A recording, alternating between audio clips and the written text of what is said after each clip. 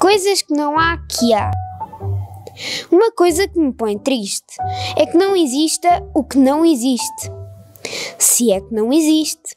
E isto é que existe.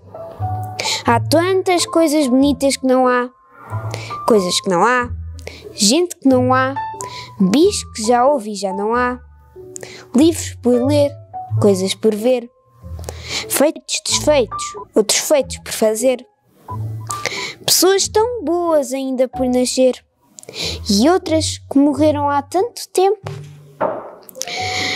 Tantas lembranças de que não me lembro, sítios que não sei, invenções que não invento, gente de vidro e de vento, países por achar, paisagens, plantas, jardins de ar, tudo o que eu nem posso imaginar. Porque se eu imaginasse, já existia, embora num lugar onde só eu ia.